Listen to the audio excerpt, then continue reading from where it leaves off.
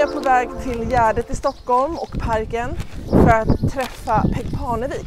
Jag ska bjuda henne på lunch och vi ska picknicka och jag har fixat ballonger från Partyland och uh, jättegod lunch från Pontus Fritiof. Nu har jag typ fem minuter på mig. Ta mig till den här parken, duka upp allting för sen kommer Peg. Jag vill ligga redo i en schysst eh, position.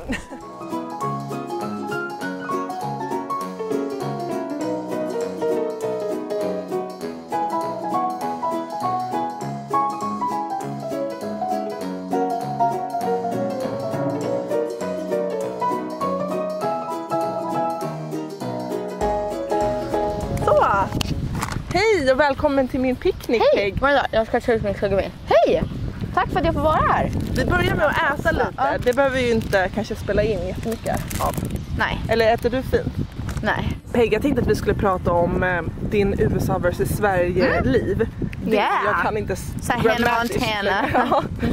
Dels tänkte jag så att vi först skulle börja med att du berättar lite kort om din bakgrund när det Mm. kommer till så här nationality för att jag tror inte att många har stenkoll på det. Nej, det är typ, jag får alltid olika frågor. Men jag, är, jag föddes i Sverige på Danderyd och sen växte upp i USA och flyttade dit när jag var typ ett eller så här några månader. Så jag har ju så en green card. Jag är ju svensk egentligen. Det är väl det som inte folk fattar. Fast jag känner mig, det är inte jag känner mig, när jag är i Sverige så känner jag mig så himla amerikansk och när jag är i USA så känner jag mig jätte, jättesvensk. Så när man växte upp så var det så här när vi var, gick i skolan, alla tyckte ju så att vi var så konstiga så här, svenskar. Mamma tvingade oss att fira Lucia framför hela skolan. Så här, göra det Oj. för dem så att de skulle lära sig.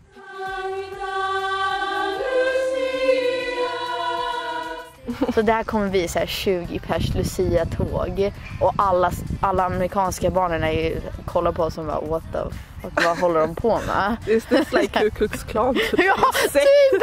Vad är typiskt svenskt och vad är typiskt amerikanskt? Det beror på. Men jag har märkt um, det blir så här samma typer av människor. Typ som i USA så är det väldigt, alla unga är väldigt lika. Där jag bor så är det ju alla ganska mycket så här surfers och sorority girls och alla sorority och fraternity tjejer och killar är exakt likadana. Det är så här, I USA så har alla så här boat shoes, om ni vet vad det är, utan strumpor. Och så här korta men så här, khaki shorts och oftast någon jersey. Och i Sverige så killarna, det är ju så här lite beroende på vad för stil de har. Men tjejerna har alltid så här flare byxor. Det beror på Ja. också på vilken stil ni har. Men unga tjejer, det är så här flare byxor med antingen Adidas eller ehm, som så här Nike Air Forces. Exakt den stilen du har på dig! Och sen, och sen typ den här typiska, gud. Det är en, jag har bara sett det i Sverige, det är någon fenomenon att alla svenska tjejer har den här furjackan Ja. som är så här lila.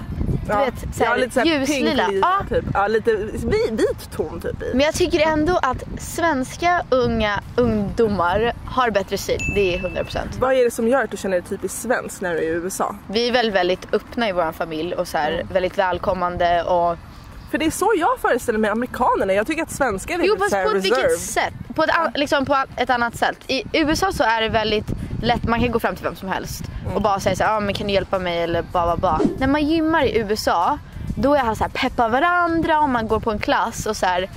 Man bara oh my god I love your outfit och oh my god girl we're gonna do it, it's Monday. Och så här, i Sverige så är vi mer typ öppna och välkomnande i hur vi tänker om hela världen. You know what I Ja, mean? okej. Fattar Ja. du? Så här, vi är mer open-minded. Och i USA så är man mer så här southern hospitality welcoming. Jag tror man kanske måste åka dit för att förstå. Så- Jag är skilsmässobarn och Mm. också så här jättesvårt att ställa om märker jag när jag kommer till en ny plats. Så får Ja. jag så här ångest och bara blir ledsen. Nej. Typ så här oavsett. Bara Ja. för att det känns som att jag har svårt att så här, säga avsked. Ja. Jag tror att det är lite så här varannan vecka Ja, jag syndrom. fattar. Jag fattar. Men känner du så när du pendlar mellan USA och Sverige? Ja, alltså mest för att jag känner inte att Sverige, även fast vi har varit här på somrarna och resten av min familj, liksom min farmor, farfar min mormor och morfar, alla de bor ju här. Ändå min bas är ju ändå i Florida. Så jag tycker det är superjobbigt att dra därifrån. Um, där jag vet, även fast jag nu ska jag åka dit om typ två veckor. Det är mer för att hela min familj är där. Alla är hemma, alla har så här familjemiddagar och de så går på bio och på något sätt så varje gång jag drar så här blir de supernära. Ja, inte Det- när man är där så bara ja. Nej men Knacka det, innan du kommer in på mitt rum. det är skitjobbigt och så här, aldrig känna att man riktigt, speciellt när man är liksom artist eller har en karriär, att man reser runt hela tiden. Att man inte känner att man har sitt ställe. Att man är det- inte rotad någonstans. Nej, För så känner jag också hela tiden och jag undrar vart den här, det här stället är någonstans. ja, You don't know eller? no. No! no. Jag hoppas att det, eller det är väl vart de man älskar liksom, vart de är. Har du hittat någon taktik? Gråta mycket. Ja. Nej jag vet inte. Det är, det är väl bara... Jag är så himla dålig på att höra av mig för att jag vill aldrig ringa min mamma för jag vet bara att jag kommer bli ledsen. Så att då istället så hör jag inte av mig. Men det är faktiskt bättre att bara ringa upp Ja. dem även om man gråter hela, Hela hela, samtalet. samtalet. Um, men det är bättre än att gå runt och så här, bara tycka att det är jobbigt att vara orolig och sen inte ens höra av sig. För de tror att man ignorerar dem fastän man bara saknar dem och vill liksom inte vara jobbig. För annars skulle jag ringa varje timme. Ja. Din nya låt då? Don't tell mom. Yeah. Det är Det är väldigt... lite passande. Ja, det, det är lite passande.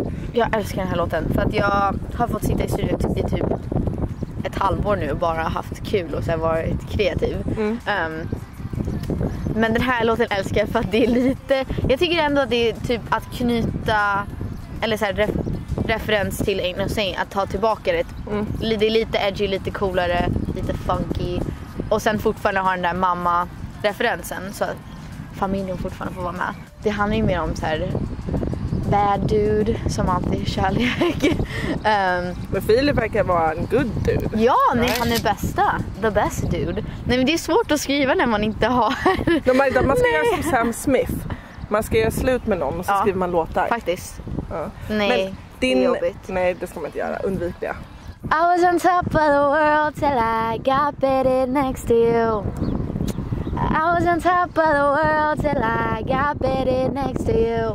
Don't tell ma, it took like two weeks and I threw my keys at you. Yeah, I was on top of the world till I got bedded next to you. Applåder! Thank you, thank wow! So pretty! Du borde göra en akustisk version av den där. Jag vet, vi har kört den akustiskt. Jag tycker om den bättre. den är så fin. Vi kör med lite så här eh, bongo drums typ. Oh wow! Ah, ja, lite reggae! ja. Ah, lite Lite reggae coolt, ja. style! Jesus Christ, det kommer Oj, bli, over. kommer bli farligt.